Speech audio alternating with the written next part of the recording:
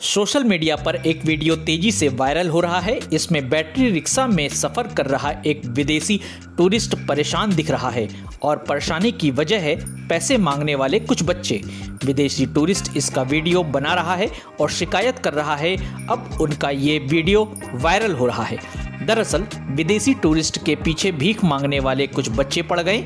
जो लगातार उसे परेशान कर रहे हैं और पैसे की मांग कर रहे हैं। वीडियो में टूरिस्ट को घबराते हुए बच्चों को चलते रिक्शा से उतरने के लिए कहते हुए सुना जा सकता है। वायरल हो रहे इस वीडियो में देखा जा सकता है कि सड़क पर कुछ बच्चियाँ ई रिक्शे का पीछा कर रही हैं, जिनमें से एक बच्ची बैटरी रिक्शा पर पीछे लटक जाती है।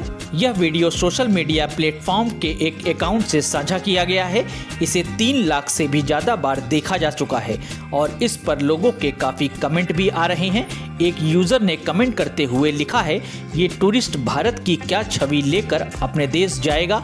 ये बच्चे जिन्हें स्कूल जाना चाहिए, भारत की छवि खराब कर रहे हैं। एक और यूज़र ने कमेंट करते हुए बाल कल्याण मंत्रालय पर सवाल खड़ा किया है और लिखा है, बाल कल्याण मंत्रालय क्या कर रहा है?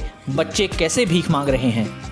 एक अन्य यूज़र ने कमेंट किया है कि विदेशियों के साथ ही नहीं, हमारे साथ भी इस तरह की घटनाएँ रोज होती हैं। ये विदेशी सवाल तो खड़ा कर रहे हैं, हम तो आवाज़ भी नहीं उठा पाते हैं।